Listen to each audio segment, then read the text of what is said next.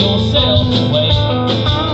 I'll you won't live to see tomorrow.